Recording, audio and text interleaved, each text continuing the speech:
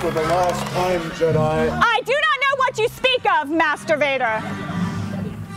I will bring you to the power of the dark side. You will never convert me to the dark side. Then you will be destroyed. I will not. No, I can walk away. Yes, you can. Stand back. Stand back.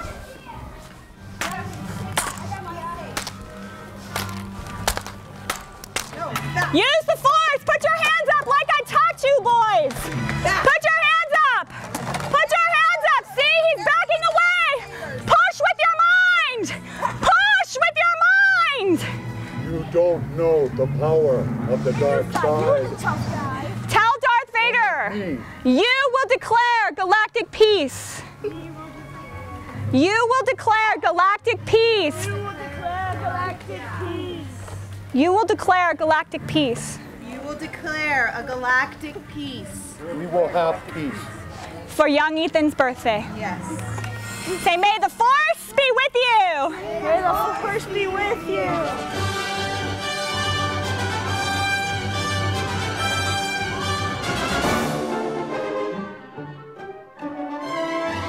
He told Darth Vader, you will give me some cake. And he did it.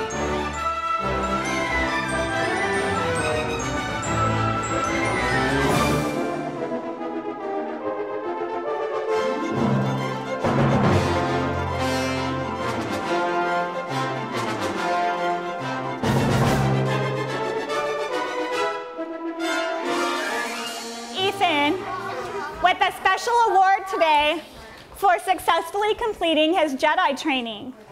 And what this award says today, you have proven yourself to be worthy of the teachings of the Jedi. And the Jedi are the guardians of the uh, peace and justice in the galaxy. So you are no longer a youngling, you are now a Padawan.